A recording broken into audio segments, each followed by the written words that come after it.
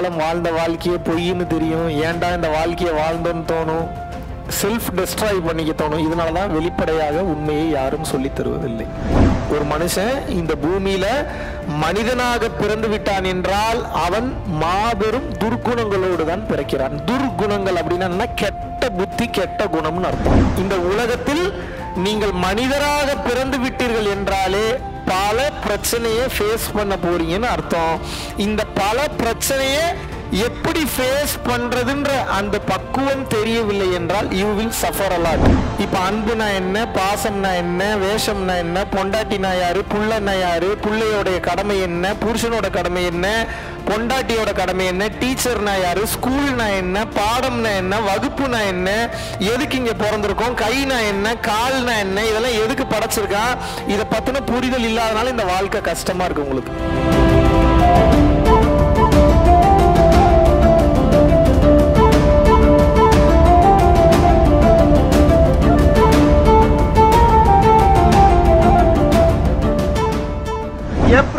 இருபத்தி ஏழு முதல் ஏப்ரல் முப்பது வரை இருபத்தேழு இருபத்தெட்டு இருபத்தொன்பது முப்பது. ரெண்டாயிரத்தி இருபத்தி நான்காவது வருடமான இந்த வருடம் வந்து பாத்தீங்கன்னா கொடைக்கானல்ல பரம்பொருள் யோகம் தீட்சை நேரடியாகவோ இல்ல ஆன்லைன்லயோ தீட்சை பெற்றவர்கள் மட்டும்தான் இந்த நான்கு நாள் வகுப்புல வந்து கலந்து கொள்ள முடியும். இது வகுப்புன்னு சொல்றத விட ஒரு வாழ்க்கை முறைன்னு சொல்லலாம்.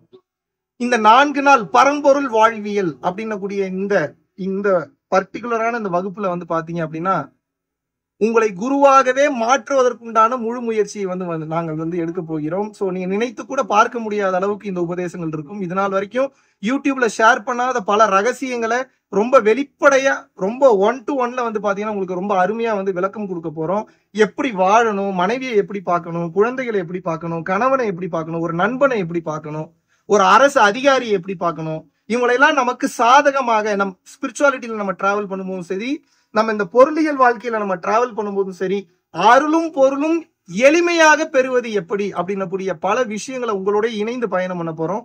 நிறைய விஷயங்களை நீங்க வெளிப்படையாக கேட்க போறீங்க. நானும் ரொம்ப வெளிப்படையா வந்து ஆன்சர் பண்ண போறேன். இந்த நான்கு நாட்கள் உங்களை வச்சு செஞ்சு அனுப்புறது தான் வேலை. பரம்பொருள் யோகம் தீட்சை பெற்றவர்கள் நேரடியாகவோ ஆன்லைன்லயோ வாங்கியிருந்தீங்கன்னா இம்மிடியட்டா நமது கீழே உள்ள கான்டாக்ட் நம்பருக்கு கான்டாக்ட் பண்ணி உங்களது பெயரை முன்பதிவு செய்து கொள்ளுங்கள். பயன்பெறுங்கள். நினைத்து கூட பார்க்க முடியாத வாழ்க்கையை வாழத் தொடங்குங்கள். இறைவனை உணரத் தொடங்குங்கள். எல்லாம் அல்ல பரம்பொருளாகிய இறைவன் உங்களுக்கு அனைத்து வளங்களையும் நலங்களையும் அருள வேண்டும் என்று கூறி விடைபெறுகிறேன். நன்றி. வணக்கம். ஏன் இந்த மாதிரியான வகுப்புகள் வெளிப்படையா பேசணும் அப்படின்னா உண்மை அவ்வளவு தூரத்துல தள்ளி இருக்கு. நம்ம அது அது ஓரளவுக்காவது பக்கத்துல போனாதான் அதை பத்தி பார்க்க முடியும். ஆனா இன்னைக்கு ஏன் இதை வெளிப்படையா பேச முடியல அப்படின்னா அதை வெளிப்படையா பேச பேச கொஞ்சம் வலிக்கும் குத்தும் குடையும். நீ இத்தனை வருட காலம் வாழ்ந்த வாழ்க்கையே பொய்ன்னு தெரியும். ஏன்டா இந்த வாழ்க்கையை வாழ்ந்தோன்னு தோணும்? செல்ஃப் டெஸ்ட்ராய் பண்ணிக்க தோணும். இதனால தான் வெளிப்படையாக உண்மையை யாரும் சொல்லித் தருவதில்லை. இருந்தாலும் இன்று ஒரு படி உங்களுக்கு மேலே போய் அனைத்து உண்மைகளையும் நான் சொல்லலாம் என்று இருக்கிறேன். இந்த பூமியில ஒரு மனிதன் மனிதனாக பிறந்து விட்டான் என்றாலே மாபெரும் துர்குணங்களோட தான் அவன் பிறக்கிறான். ஒரு மனுஷன் இந்த பூமியில மனிதனாக பிறந்து விட்டான் என்றால் அவன் மாபெரும் துர்குணங்களோடு தான் பிறக்கிறான். துர்குணங்கள் அப்படின்னா கெட்ட புத்தி கெட்ட குணம்னு அர்த்தம். அது என்னப்பா? கெட்ட புத்தி கெட்ட குணம் அப்படின்னா காமம் குரோதம் லோபம் மோகம் மதம் மார்ச்சரியம் டம்பம் தர்ப்பம் ஈருஷை அசூயை எனக்கூடிய பத்து விதமான துர்குணங்கள் அவனுக்கு இருக்கிறதுனால தான் மனித உடல் கிடைக்குது. மனித உடல் கிடைக்கிறதுனால தான் இந்த பூமியில் மனிதனாக பிறக்கின்றான். புரிஞ்சுதான சொன்னது? இது சராசரி மனிதருக்கு ஒருவேளை மகான்கள் இந்த பூமியில பிறந்தாங்கன்னா எப்படி பிறப்பாங்க? அவர்களும் இந்த துர்க்குணங்களில் பத்துன்றது ஒரு ரெண்டு மூணாவது வச்சுட்டு பிறப்பாங்க. ஏன்னா அப்பதான் உங்களுக்கு அனுபவம் கிடைக்கும். அனுபவம் கிடைச்சாதான் இறைவன் யார் என்பதை உணர முடியும். இறைவன் யார் என்பதை உணர்ந்தால்தான் இறைவன் கிட்ட போக முடியும். எஸ் ஆர்னோ புரியுதுல்ல? இப்ப நீங்க புரிஞ்சுக்கணும். இப்ப மனிதனா பிறந்துட்டீங்க. இப்ப நம்ம கிட்ட என்ன பிரச்சனை? எல்லாமே பிரச்சனை தான் இந்த உலகத்தில் நீங்கள் மனிதராக பிறந்து விட்டீர்கள் என்றாலே பல பிரச்சனையை ஃபேஸ் பண்ண போறீங்கன்னு அர்த்தம்.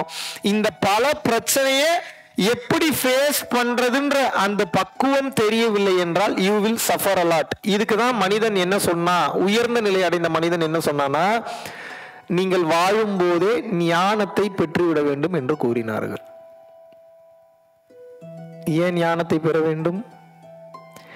ஏன் ஞானத்தை பெற வேண்டும் என்றால் ஞானம் ஒன்று மட்டும்தான் உங்களை எல்லா பிரச்சனைகளில் இருந்தும் விடுதலை அடையச் செய்யும். ஞானம் நீங்க பெறல அப்படின்னா பிரச்சனைகளில் இருந்து உங்களால் வெளியே வர முடியாது. இவ்வளவுதான் ஞானம். அது எப்படி புரியல புரியலையே எனக்கு. இப்போ நான் என்ன பண்றேன் அப்படின்னா கொஞ்ச நேரத்துக்கு கண் மூடி தியானம் பண்ணுங்கன்னு சொல்றேன். நல்லா கவனிக்கணும். நல்லா ரெண்டு காதையும் ஓபன் பண்ணி வச்சுட்டு விழிப்பா கேட்கணும் நான் சொல்ற விஷயத்த. எல்லா லைட்டையும் ஆஃப் பண்ண சொல்லிட்டு உங்களை தியானம் பண்ண சொல்கிறேன் நீங்களும் நல்லா உட்காந்து தியானம் பண்ணிக்கிட்டே இருக்கீங்க. டக்குன்னு நீங்கள் கண் திறந்து பார்க்கும்போது முன்னாடி ஒரு பெரிய கிங் கோபரா இருக்கு. உங்க முன்னாடி தெரியுது. என்ன ஆகும் உங்களுக்கு? நாகாத்தம்மா வந்துட்டியேம்மான்னு தொட்டு கும்பிடுவீங்களா? என்ன பண்ணுவீங்க? தெரிச்சு ஓடிட மாட்டீங்க டேய். என்னடா தியானம் பண்ண சொல்லிட்டு முன்னாடி கிங் கோபுரா வச்சிருக்கிற மனசாட்சி இருக்காடா உனக்கு? இப்போ லைட் எல்லாம் போட சொல்கிறேன் அப்போதான் தெரியுது அது பாம்பு இல்லை கயிறு. ரோப்புன்றது உங்களுக்கு அப்புறம் தான் தெரிய வருது.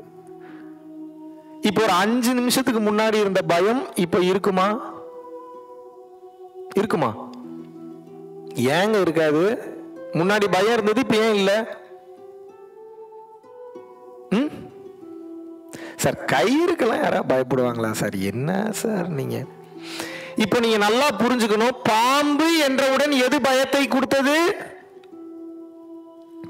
உங்களது மனம் பயத்தை கொடுத்தது. அது பாம்பு இல்ல கயிறு தான் தெரிஞ்சோன்னு எது பயத்தை எடுத்தது?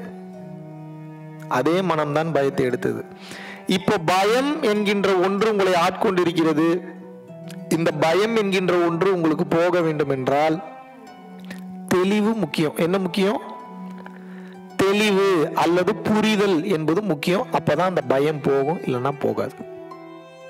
என்னடா ஒன்றும் புரியலையே. இப்ப இன்னும் விளக்கமா சொல்றேன் நல்லா சொல்றேன் கவனிங்க. அதை பாம்புன்னு நினைச்சப்ப பயம் வந்தது.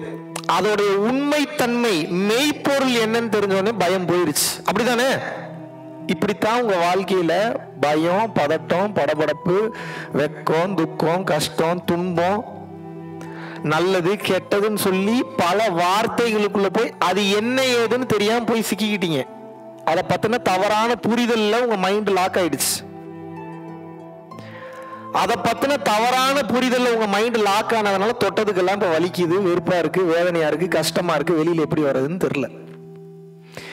இப்போ அன்புனா என்ன பாசம்னா என்ன வேஷம்னா என்ன பொண்டாட்டினா யாரு புள்ளன்னா யாரு புள்ளையோடைய கடமை என்ன புருஷனோட கடமை என்ன பொண்டாட்டியோட கடமை என்ன டீச்சர்னா யாரு ஸ்கூல்னா என்ன பாடம்னா என்ன வகுப்புனா என்ன எதுக்கு இங்கே பிறந்திருக்கோம் கைனா என்ன கால்னா என்ன இதெல்லாம் எதுக்கு படைச்சிருக்கான் இதை பற்றின புரிதல் இல்லாதனால இந்த வாழ்க்கை கஷ்டமாக இருக்குது உங்களுக்கு.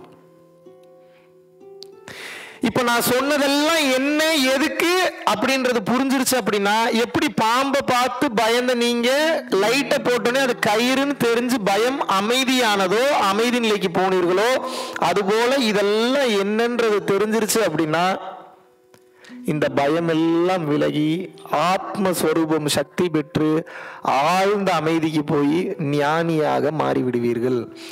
பாம்புன்னு தெரிஞ்சப்போ எது உங்களுக்கு பயத்தை குடிச்சிட்டு அறியாமை. அது பாம்பில்ல கயிறு தான் தெரிஞ்சப்போ எது பயத்தை எடுத்துச்சு? ஞானம். அது பாம்பா கயிறான்னு தெரிஞ்சுக்க முற்படுறீங்கல்ல அந்த தெளிவை கொடுக்குதுல்ல அதுக்கு பேர் தான் ஞானம். இப்போ நீங்க இன்னைக்கு ஃபுல்லா கத்துக்க போறது என்ன அப்படின்னா ஜாலியா கதை கேட்குற மாதிரி கேட்டுக்கிட்டே வாங்க. உங்களுக்கு டவுட்டே வேண்டாம். நீ நோட் பண்ணி வைக்கணுன்ற அவசியம் கூட இல்லை. உங்க வாழ்க்கையில நான் பேசுனது ஏதோ ஒன்று ஏதோ ஒரு சுச்சுவேஷனில் தேவைப்படுதுன்னா சத்தியம் விட்டு சொல்கிறேன். அது அந்த நேரத்தில் வந்து நிற்கும். அதனால் நீ அதை பற்றி கவலைப்படணுன்ற அவசியமே கிடையாது. நானே சொல்லுவேன் ஒரு சில பாயிண்ட்ஸ் நோட் பண்ணி வைங்க ரொம்ப ரொம்ப முக்கியமான பாயிண்ட்ஸ் எழுதி வச்சுக்கோங்க. அப்போ நீங்கள் நோட் பண்ணீங்கன்னா போதும். அது வரைக்கும் என்ன பண்ணணும்? ஜாலியாக கதை கேட்டுக்கிட்டே வாங்க. இறுதியில் உங்களுக்கு புரிஞ்சிடும் என்ன ஏதுன்ற அந்த புரிதல் ஆட்டோமேட்டிக்காக வந்துடும் கிளியர் ஓகே இப்போது இந்த மனித வாழ்க்கையில் நீங்கள் தெரிந்து கொள்ள தெரிந்து கொள்ள வேண்டிய முக்கியமான தத்துவம் என்ன அப்படின்னா ஏன் இங்கே நான் பிறந்திருக்கிறேன்? இந்த கேள்விக்கு பதில் தெரிஞ்சதுன்னா அமைதியாயிருவீங்க. நான் ஏன் இங்கே பிறந்திருக்கிறேன்? ஏன் பிறந்திருக்கீங்க? நீங்க வேணா சொல்லுங்க நான் வேணா தெரிஞ்சுக்கிறேன். சும்மா தெரிஞ்சு தப்பா சொன்னாலும் பரவாயில்ல சொல்லுங்க. ஏன் பிறந்திருக்கீங்க? என்னங்க? இப்படி இருந்தா நான் எப்படிங்க கிளாஸ் எடுக்கிறது? ஏதாவது பதில சொல்லி ஏதாவது ஈக்குவலா மெயின்டைன் பண்ணி என்னைய கொஞ்சம் என்டர்டைன்மெண்டா வச்சிருந்தீங்கன்னா கிளாஸ் எடுக்கலாம். ரொம்ப நல்ல பிள்ளைங்க மாதிரி உட்காந்துருக்க கூடாது. சொல்லுங்க பதில் சொல்லுங்க. ஏன் இங்க நம்ம பிறந்திருக்கிறோம்? வாழ்வதற்கு very good nice answer and then ஜாலியா இருக்கணும். வெரி குட் வேற? கர்மாவை சேர்க்கறதுக்கா? குறைக்கிறதுக்கு. ஓகே வெரி குட் வேற? சந்தோஷமா இருக்கிறதுக்கு வெரி குட் வேற?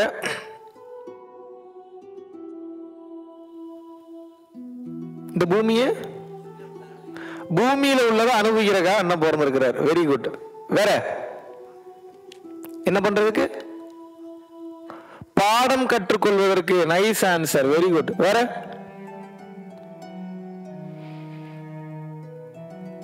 வேற யாரும் எதையும் அனுபவிக்கிறதுக்கு பிறக்கல போல. சொல்லுங்க. மனித வாழ்க்கையை அனுபவிப்பதற்காக.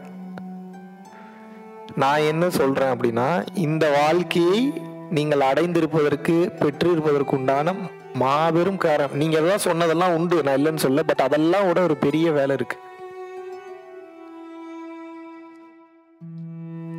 எங்கிருந்து வந்தீங்களோ மீண்டும் அங்கேயே செல்ல வேண்டும்.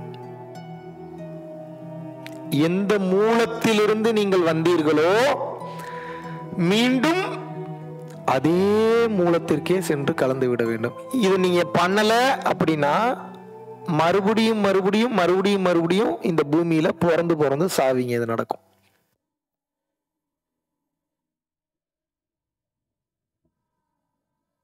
பரம்பொருளின் கருணையினால உங்களுடைய இடைவிடாத அன்னதானத்திற்கு நீங்கள் அனுப்பப்பட்ட பணத்தின் மூலியமாக பல லட்சம் உயிர்களுக்கு இது நாள் வரைக்கும் வந்து சாப்பாடு கொடுத்துருக்கோம். ஸோ கொரோனாலேருந்து ஆரம்பித்து ஒரு நாள் கூட விடாமல் பல உயிர்களுக்கு வஸ்திர தானங்களாக இருக்கட்டும் படிக்க முடியாதவங்களுக்கு கல்வித்தொகை கட்ட முடிய விஷயங்களாக இருக்கட்டும் இல்லை ஸ்போர்ட்ஸ் ரீதியாக விளையாடக்கூடிய நல்ல மாணவர்களை அனுப்பி வைக்கக்கூடிய விஷயங்களாக இருக்கட்டும் அதை தொடர்ந்து வந்து பார்த்தீங்கன்னா ரெகுலராக மந்த்லி பேசிஸில் ஏழை குழந்தைகளுக்கு குரோசரிஸ் கொடுக்கறதாக இருக்கட்டும் இல்லை அவங்களுக்கு வந்து பார்த்தீங்கன்னா சேம் அவங்க விருப்பப்படுறவங்களுக்கு வீட்டு துணிமணிகள் வீட்டுக்கு தேவைப்படக்கூடிய மற்ற பொருட்கள் வாங்கி கொடுக்கறதாக இருக்கட்டும். எல்லா உதவிகளும் வந்து பாத்தீங்கன்னா உங்களோட உதவினால தான் போயிட்டு இருக்கு சாது சிதம்பர சுவாமிகள் வளநாட்டார் வந்து ஒரு வார்த்தை சொல்லுவாரு. பசித்தோர் முகம்பார் பரம்பொருள் அருள் கிட்டும் அப்படின்னு வந்து சொல்லுவாரு. வள்ளல் பெருமானும் ஜீவகாருண்யம் உள்ள சம்சாரிகளுக்கு எப்பேற்பட்ட சூழ்நிலையிலும் வந்து பாத்தீங்கன்னா அவங்களோட லாபம் தடைபடாது. தொழில் பிரச்சனைகள் வந்து நிவர்த்தியாகும். அதை தொடர்ந்து வந்து வாழ்க்கையில குடும்ப பிரச்சனைகள் விலகும். அதுபோக குழந்தை சம்பந்தமான பிரச்சனைகள் எதுவாக இருந்தாலும் வந்து இந்த அன்னதானத்திற்காக நீங்கள் செய்யக்கூடிய ஒவ்வொரு ரூபாயும் அது வந்து உங்களுக்கு நிச்சயமாக புண்ணியமாக வந்து சேரும்.